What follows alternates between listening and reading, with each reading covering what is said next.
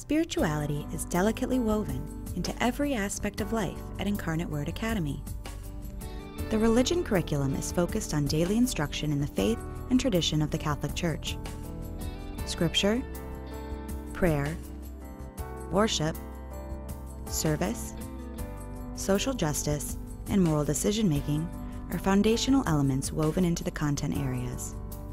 However, religion is more than academic instruction and permeates the environment so that students learn that faith is a way of life. Students at Incarnate Word grow spiritually through daily prayers, religious education, and attending sacred Eucharistic liturgies throughout the year. Commitment to living the gospel is important for IWA. This commitment is evident in the students' strong sense of others. They are determined to serve, following the example of Jesus, and they understand that they are charged with making a positive impact on the lives of others. I have three children presently here, one already in high school, and clearly I can see the formation and transformation of young child to young adult, developing those uh, senses of social responsibility, spirituality, and developing that young person into a young adult who's going to be a responsible person in our world today. The teachers use the many sacred spaces on the campus to the students' benefit, with prayer experiences in Incarnate Word Chapel, Queen of the Holy Rosary Shrine,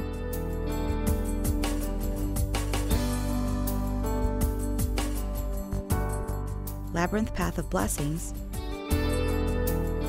and outdoor stations of the Cross and the Learning Garden.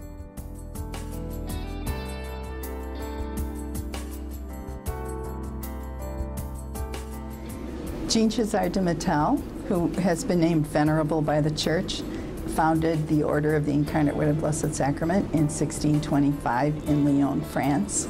She understood that God called her to found the order to extend the incarnation, which means to be God's presence, to make God's presence visible in the world. The same spirit and vision that gave direction to her life inspired women of faith from many nations to be visible signs of God's presence in the world through a life of contemplation, community, and service. Here in the Diocese of Cleveland, Incarnate Word Academy is blessed to enjoy the daily presence of over a dozen sisters, two of whom are full time teachers. Many of the retired sisters of Incarnate Word keep a prayer ministry for the students and families of IWA. Their very presence enhances this peaceful Christian environment for which our school is known. See for yourself what makes Incarnate Word Academy the right educational and spiritual start for your child. Contact us today to schedule a tour or shadow day.